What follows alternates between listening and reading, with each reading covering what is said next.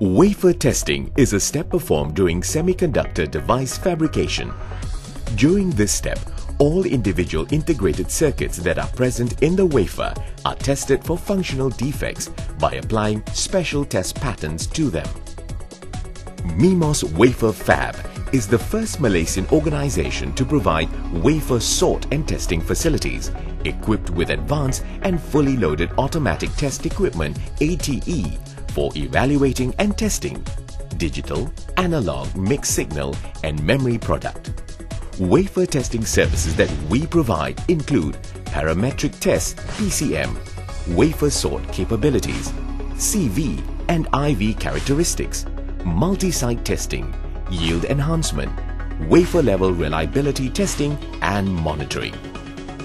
At MIMOS Failure Analysis and Testing Laboratory, we strive for the best quality service.